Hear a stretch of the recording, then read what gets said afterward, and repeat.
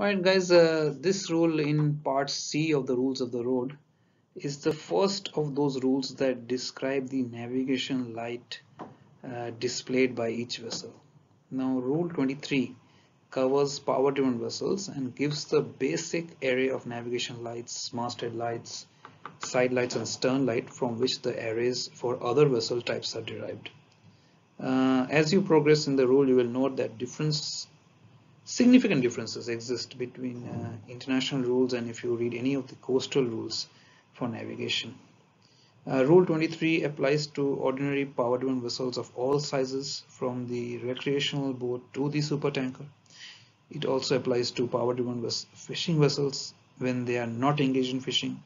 It applies to tugboats assisting in ship maneuvering, either not connected to the ship or connected with a short line or cable However, it does not apply to power-driven vessels that are anchored aground or tied to a dock. Paragraph A lists the navigation lights for ordinary power-driven vessels.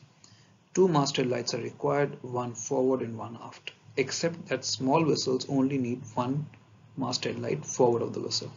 The forward masthead light is placed in the forward half of the vessel, except uh, that maybe sometimes under coastal rules these light does not have to be forward of midships on smaller vessels.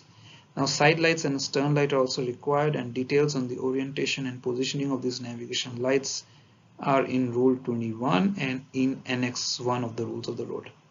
Alternative uh, navigation light configurations for vessels less than 12 meters in length uh, you will see that in paragraph C uh, of this rule of course.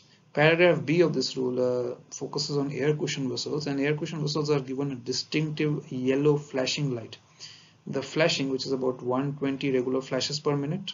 Uh, the flashing all-round light is displayed only when the vessel is operating on its uh, cushion of air.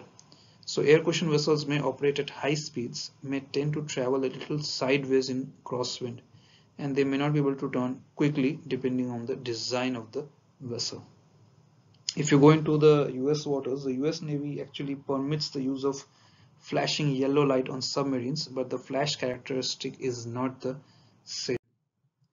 Uh, part C of the rule. Uh, here, some owners, operators, or builders of power vessels under 12 meters in length feel that the conventional masthead light, side lights, and stern light array is too complicated. It consumes too much power, or it just costs too much for vessel operation. So for them, uh, paragraph C uh, provides one or two alternatives. So basically vessels uh, which are less than 12 meters in length may display an all-round white light and side lights.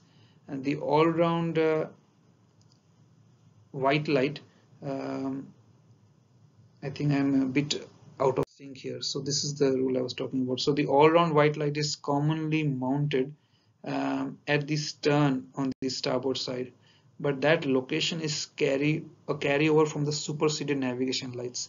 Under the current rules, the all-round white light can be placed anywhere, so long as it is on a level 1 meter height higher than the side lights.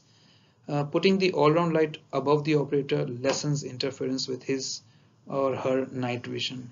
In addition, uh, carrying the all-round lights in the forward part of the boat closer to the side lights, it actually minimizes the decrease in vertical separation uh, when the boat assumes a sort of a high uh, trim. Then we go to part 2. Uh, under the international rules, a power driven vessel less than 7 meters in length may dispense with the side lights, displaying only an all-round white light, providing that its maximum speed does not exceed 7 knots. This means that its maximum speed during the time it is operating at night does not exceed 7 knots. Um, some people interpret uh, maximum speed does not exceed 7 knots to mean maximum speed cannot uh, exceed 7 knots or which is not capable of more than 7 knots. But this is not what the rule is saying. The rule is saying uh, does not means in the present tense. So if a single white light is safe for a 5 knot boat going 5 knots then it should also be safe for a 25 knot boat going at 5 knots.